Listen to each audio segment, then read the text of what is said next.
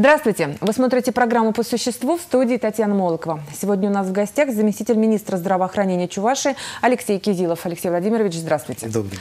Алексей Владимирович, э, несмотря ни на что, тема, конечно, у нас будет беседы не совсем приятная. На одном из заседаний правительства республики обсуждалась такая тема, как смертность от внешних причин. Что это вот правда очень волнующая тема. У нас действительно сейчас необходимо бить тревогу. Да, я думаю, что это очень волнующая тема. И вот, понимаете, улучшение медико-демографической ситуации в Чувашской республике, а это, наверное, все-таки один из показателей и такая ставит приоритетная задача в Чувашской республике. Эм, и на фоне снижения рождаемости, а за 6 месяцев 2017 года у нас отмечается рождаемость на 17,6% за аналогичный период 2016 года. Если взять в абсолютных числах, это 1444 ребенка. И, конечно же, отмечается, естественно, убыль населения в Чувашской республике, что составляет на сегодня минус 2 промилле, а в абсолютных числах это минус 1218 человек с учетом снижения общей смертности, а общая смертность за 6 месяцев также 2017 года у нас снизилась на полтора процента, и если взять в абсолютных числах, это примерно 202 спасенные жизни, да, мы проанализировали структуру смертности, от внешней, структуру смертности общей всей, угу. да, и что мы обнаружили? Вот э, в структуре смертности от внешних причин она занимает на сегодняшний момент второе место. Что такое смертность от внешних причин? Вот перечислите, пожалуйста. Смертность от внешних причин, это возможно и это случайно случайные удушения, это и дорожно-транспортные происшествия, это отравление от алкоголя, это убийство, самоубийство, это переохлаждение угу. и различные другие виды угу. э, смертности. А, а какие вот сейчас у нас показатели, да, сколько вот человек э, ну, умирают из-за вот этих причин?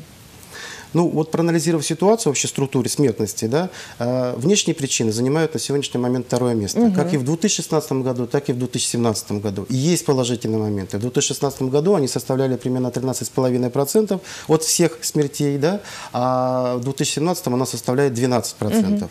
В среднем, э, не в среднем, а погибает вообще, вот на сегодняшний момент за 6 месяцев 2017 года погибло 956 человек.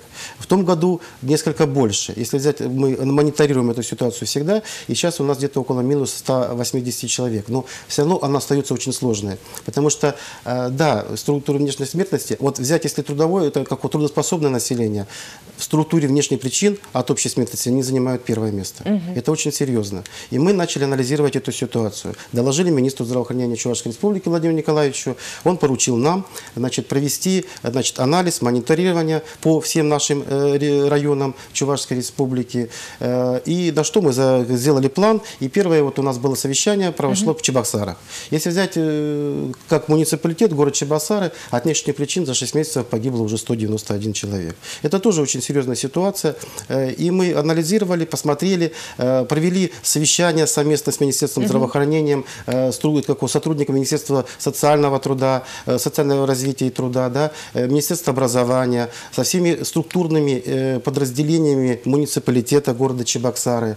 Э, конечно же, привлекали туда и силовые структуры. Это и Следственный комитет, угу. и прокуратуру, и Министерство внутренних дел. То есть все субъекты профилактики. То есть, получается, медики забили тревогу, медики заинтересовались, а, почему же так происходит, и вы решили, что вам в этом должны помочь все заинтересованные, ну, наверное, все-таки заинтересованные, да, вот структуры. Это управляемые смерти. Это управляемые угу. внешние причины. То есть мы... этим можно управлять? Этим можно На это управлять. можно повлиять На это не нужно даже тратить никакие бюджетные средства. Просто надо анализировать эту ситуацию угу. совместно с субъектом профилактики, взаимодействовать полностью, разбирать каждый случай от внешних ну, причин. Ну вот смотрите, да, а, обморожение, те, кто утонули, да, но вот в состоянии алкогольного опьянения. Но ведь это по большому счету человеческая глупость. Конечно. Это как бы жалко не было. Но вот даже если посмотреть от внешних причин, первое место от внешних причин это занимает случайное удушение. Угу. Если взять, посмотреть, это 11,1%, это 106 человек. А что такое случайное удушение? Это во время алкогольного опьянения произошла аспирация угу. и ротами, массами, и человек просто погибает. Глупая смерть. А Или как же... вот на это можно повлиять? Сказать человеку не пей? Ну, ну зачем? Надо проанализировать ситуацию вообще в целом. Угу. Это совместно, опять же, с субъектами профилактики. Возможно, э, где-то запрещение продажи алкоголя после 23 часов в различных угу. наших районах. Да? Это анализировать ситуацию о фальсификации алкоголя. Да? Это, это, это, опять же, такая вот, знаете, э, совместное взаимодействие, межведомственное взаимодействие всех структур. Угу. И Министерства внутренних дел, и прокуратуры, и Следственного комитета, и э, комиссиям по делам правонарушений, которые у нас на сегодняшний момент в каждом муниципалитете угу. есть. Да? Совместная работа с главами администрации, с главами районов, да? э, с Министерством здравоохранения, Министерством э, труда и социального развития. Ну, то есть вот этот вот весь комплекс, он на сегодняшний момент есть. Мы просто единственное угу. хотим вот как-то вот запустить, запустить его, да? этот момент. Нет, он есть, он работает, но мне хочется так вот всех взбудоражить, да, для того, чтобы мы понимали о том, что вот эти жизни можно было просто спасти. Но ведь надо не только тем заинтересованным структурам донести эту информацию, но и самим людям. Конечно. Э, вот если взять в примере посмотреть от внешних причин, даже по детской смертности. На сегодняшний момент тоже погибло 21 ребенок уже за 6 месяцев 2017 э, года. И ведь смерти такие, понимаете, вот, например, э, было случайное удушение. То есть ребенок новорожденный пришел вместе, то есть мамой, с папой, пошли в баню, выпили алкоголь. Мама положила ребенка вместе с отцом. Ну, конечно же, утром он просыпается, и ребенок уже, уже ребенка нет. Вот эти вот все вот такие глупые смерти на сегодняшний момент, это не оправдательно. Угу. А есть э, статистика в разрезе муниципалитетов? Конечно же, она есть. Мы анализируем эту ситуацию. Как я уже говорил, у нас был первый выезд это в город Чебоксары, второй угу. мы, у нас был выезд как раз на Читае, угу. третий выезд у нас был в город Алатырь, Алатырский угу. район. Мы были и в Козловском районе. Буквально вот сегодня в 2 часа дня мы собираемся в Чебоксарском районе. Э, в пятницу мы будем в городе Канаш. А в целом по структуре, конечно же, у нас остается что? Мы еще посетим до 28 угу. августа и в целом где-то около 11 наших муниципалитетов. Дальше мы посмотрим, какая у нас будет ситуация. И, возможно, мы поедем во все районы.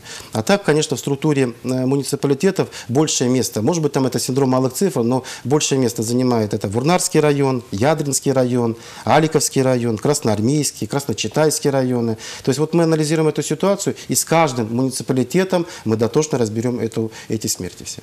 Спасибо большое, Алексей Владимирович. Я надеюсь, что ваша такая дотошная работа принесет результаты, и действительно, ну вот таких глупых, нелепых смертей будет э, гораздо меньше, и люди будут действительно серьезно задумываться о своей жизни, о качестве своей жизни. Спасибо. Спасибо большое. Я напомню, что сегодня у нас в гостях был заместитель министра здравоохранения Чувашии Алексей Кизилов. До свидания.